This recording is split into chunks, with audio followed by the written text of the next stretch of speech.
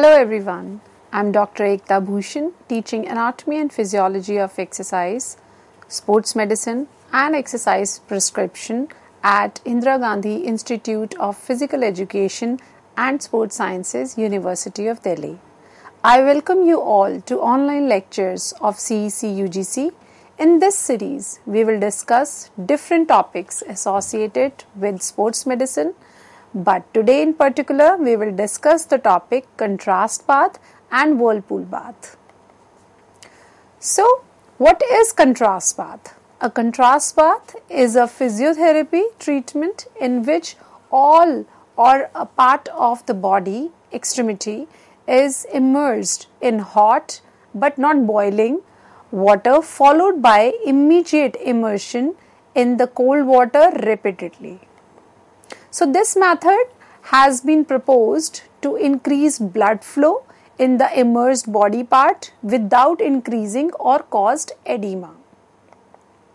So, usually a fixed time ratio uh, of 3 or 4 minutes in a hot water to 1 minute in cold water and this contrast bath protocol is performed for 5 uh, 4 to 5 cycles the alternation of hot and uh, cold water stimulates a, a, vascular pumping action caused by vasodilation uh, that is because of hot water and vasoconstriction because of cold water. So hypothetically this will stimulate the local circulation in the treated extremity and it is also increase circulation in the uh, contralateral untreated extremity to a lesser extent. So, however, in 2009, a systematic review of 28 studies from 1938 to 2009 found evidence that contrast bath may increase skin temperature and superficial blood flow. Contrast bath have been found to cause fluctuation in blood flow during a 20 minute treatment. The form of hydrotherapy described um, about this is commonly used in clinical practice when the treatment goal is to obtain the benefit of heat such as decrease pain and increase flexibility while avoiding increased edema. Now, um, we are encountering one word repeatedly and that word is edema. Now let's understand the term edema. So what is edema? Edema is the accumulation of fluids in the uh, uh, interstitial space and the swelling is the enlargement of tissues resulting from edema. Now you understand the difference between the term swelling and edema. So, the initial choice of immersion either in hot or cold water depends upon the cause. So, if you want to treat the edema, then start the treatment by first immersing in the cold water followed by immediate immersion in the hot water. And if you want to treat the pain, start the treatment by first immersing in hot water followed by immediate immersion in the cold water. Now, the physiological uh, effect of contrast bath.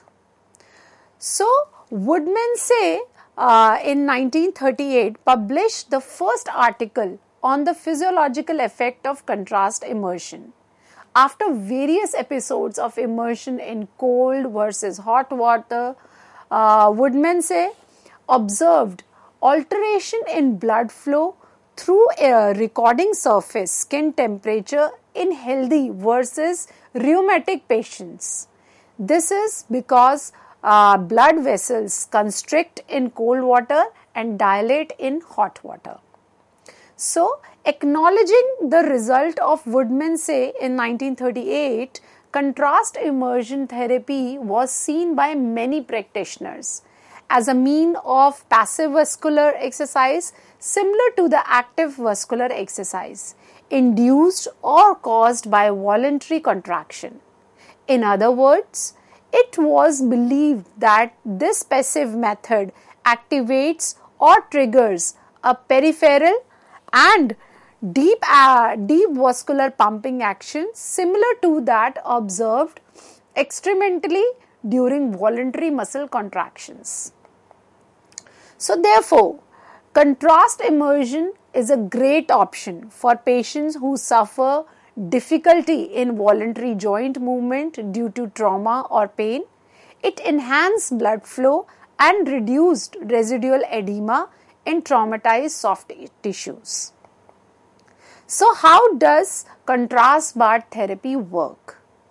So, the key to contrast bath therapy is the rapid changes produced in your circulatory system when you go from warm water to very cold water. When you submerge part or all of your body part in cold water, small blood vessels called capillaries respond to the cold by getting smaller and this is known as vasoconstriction. And when you immerse yourself in warm water, the opposite happens. Your blood vessels open up and this is known as vasodilation. So different, water temperatures also cause changes in how fast your heart beats. Show that uh, cold water causes your heart uh, rate to speed up and while hot water slow it down. So, how to uh, how do these uh, circulatory changes helps you? When you rapidly alternate between hot water and cold water, uh, water uh, cold water immersions, your blood vessels open and close in a pulsing and pump like motion. Some uh, proponents uh, think that pumping actions can help relieve various injuries symptoms. Now, science backed benefits and importance of contrast bath. So, contrast bath therapy is considered a passive from uh, form of therapy. Aside from some gentle motion you might perform, uh, you aren't um, actively moving or stretching your muscle as part of this treatment Research has shown that active therapies are generally more effective than passive ones, especially when it comes to pain management. Passive interventions should be used as an adjunct to active therapies. Even so, there is some evidence that contrast hydrotherapy could help with certain conditions and symptoms. And here's uh, what the evidence has to say. So, first one is reduces fatigue. Athletes might find that the contrast hydrotherapy helps elevate post game fatigue. A 2017 meta analysis of the research found that the contrasting hot and cold baths helps team sports players recover from fatigue 24 to 48 hours after the game. Immersion in cold water alone didn't provide the same benefit. Then, decreases muscle soreness.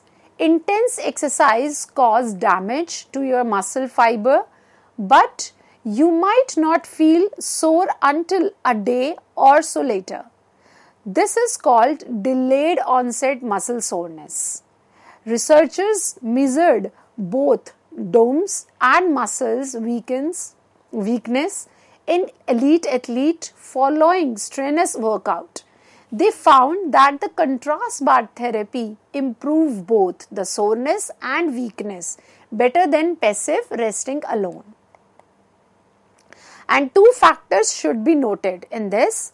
First, researchers found that the best result happened when the hot water temperature was lower than uh, 40 Celsius and second the other po uh, popular therapies such as immersion in cold water alone were about as effective as relieving these symptoms as contrast bath therapy was.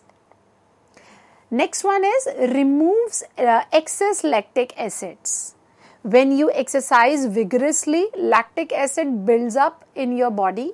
The accumulation of lactic acid is normal, but it can make you feel tired and sore. You can ease the symptoms of lactic acids buildup in your body uh, by resting, drinking water, taking a magnesium supplement, and following a few other uh, simple protocols. Two studies conducted in 2007 showed that contrast bath therapy can also help decrease the lactic acid in your body, helping you recover from the soreness and fatigue from strenuous exercise. Next is uh, decreases swelling. So, when you get injured, um, part of your body's normal infl- uh, inflammatory re, uh, response and rush of fluid and white blood uh, cells to injured area. The buildup of this uh, fluid can exert pressure on the injury and cause pain. So, there is some evidence that contrast baths reduce swelling. In a 2016 study involving 115 people with ankle sprain, contrast hydrotherapy lessened swelling uh, around 3 days post injury. Now let's see how to do contrast bath. So people who use contrast uh, bath therapy usually do uh, so with the help of a physio- physical therapist or athletic trainer. Your therapist uh, could also instruct you to perform some gentle exercises while you are in the water. Though many people do contrast therapy while uh, supervised by a professional therapist, it's possible to try it on your own.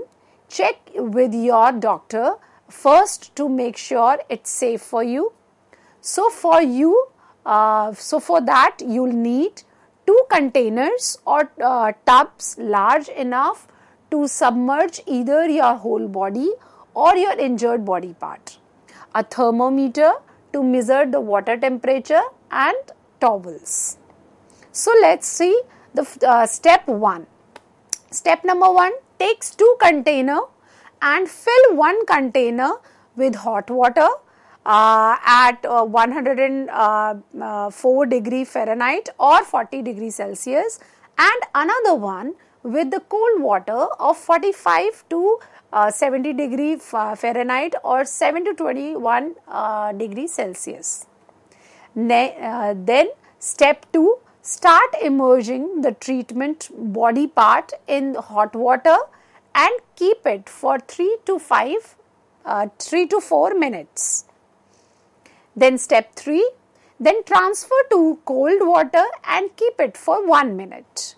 Continue, uh, continue this process till water comes to normal temperature. Then step 4, end with cold water if you need to reduce swelling. End with warm water when, treat, uh, treat, when you are treating pain. So, contrast bath time ratio is in, in hot water you have to um, uh, stay with uh, 3 to 4 minutes and in cold water you have to stay with 1 minute only. And now uh, let's uh, see some indication and contraindications uh, while taking contrast bath therapy. So indications are post-traumatic mild swelling, pain due to mild swelling, yeah, we have to do all this when uh, we have to do contrast bath if we are facing these indications. So, edema, chronic inflammation, reducing muscle soreness, removing excess, uh, excess lactic acid, reducing fatigue, improving range of motion. Now, let us see uh, contraindications. If we, uh, we, we, we should not do uh, contrast bath if we have uh, open wounds, infection or infected wounds, impaired sensation, local malignancies, a recent hemorrhage, diabetes or any skin allergies. Now we'll start with um, whirlpool bath. So, what is whirlpool bath therapy? The whirlpool bath uh, is a huge tub that is filled up with water. The body part that is to be treated is then positioned in the tub of water and a small motor ferments the water.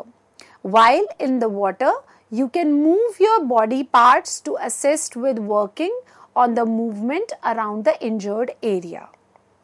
So, therapeutic stainless steel, fiberglass, or plastic tank that, uh, that uses uh, turbulence to agitate and aerate, uh, aerate waters into uh, which the body or body parts of it and is immersed.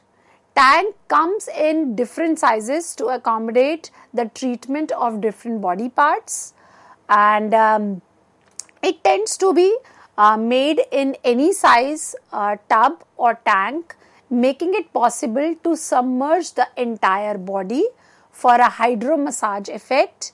The temperature of the uh, water in a whirlpool can be warm or cold depends uh, depending upon the ideal objective. And uh, the commonplace temperature of a warm uh, whirlpool is 98 to 110 degree Fahrenheit. Um, care should be taken to keep away from consumption. And uh, warm uh, whirlpool uh, pools can increase circulation as the intensity assist with opening up little veins in the body. Expand a flow can bring new blood oxygen and cells to the injured region which can promote healing a cold whirlpool is normally between 50 to 60 degree Fahrenheit. Cold whirlpool cause the arteries in the body close which uh, can assist with diminishing flow to the body part being treated. This is utilized to manage inflammation and swelling in the harmed body part. A common whirlpool treatment goes on from uh, for 10 to 15 minutes. Your physical therapist might have uh, might have you uh, play out specific exercise while your body part is in the whirlpool to assist with working on the scope of movement in the body uh, part in the body part being. So there are some types of whirlpool baths. Low boy tank high boy tank Hubbard tank, butterfly space and extremity tank. Let's start with low boy tank. So the low boy tank uh, can be used, utilized to permit an adult to sit in the tank and can go in the limit of 75 to 105 gallons. High boy tank now and then referred to as a hip or leg tank can permit immersion of both lower extremities. The limit can go from 60 to 105 gallons.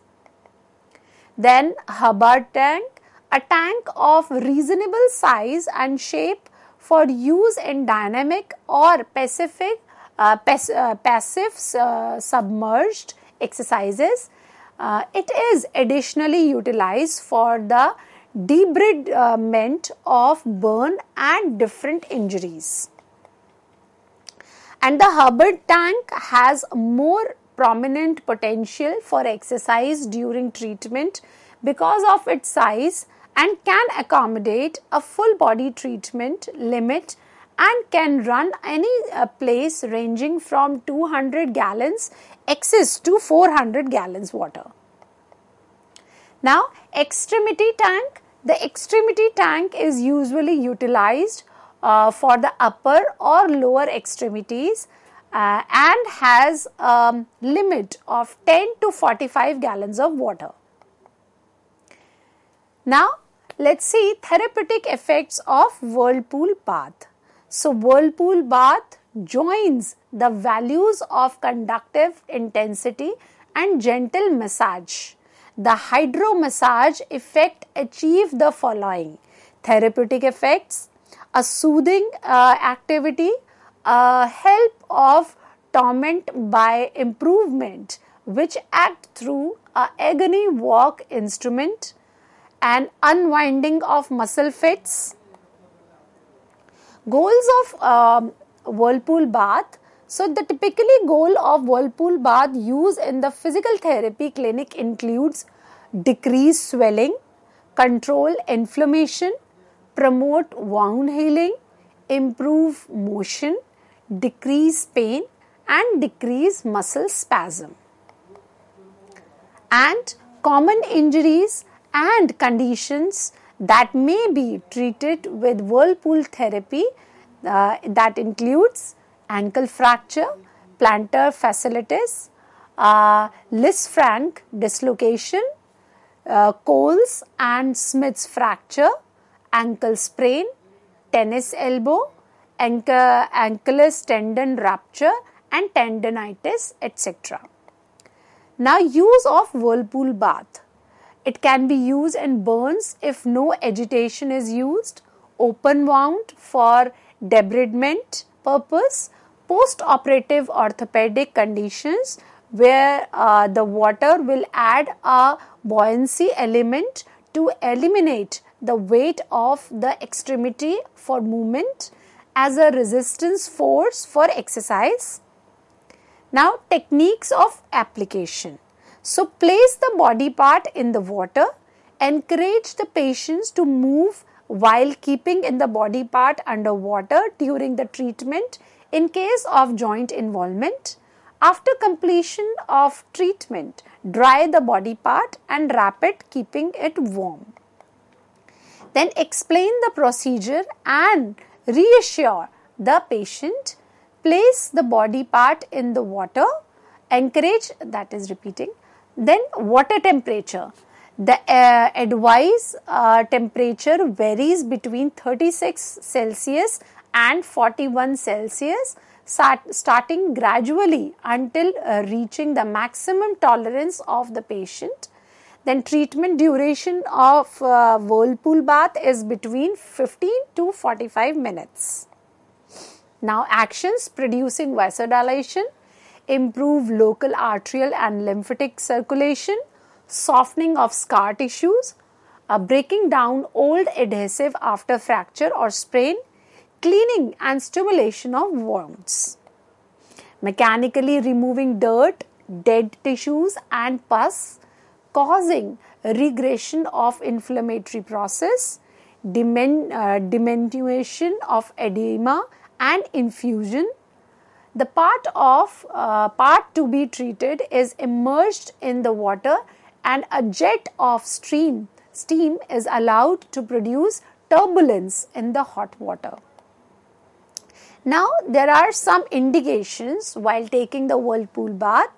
Uh, if you have poor circulation, chronic edema, uh, separate dead tissues, uh, pain relief in uh, amputations, after removing of plaster cast, stiff joint, uh, infected wounds uh, with added antiseptic agents, arthritis with stiff and swollen joint, uh, polyitis and paralysis to improve circulation, weak and painful feet as preparation uh, for massage, specific stretching and exercises.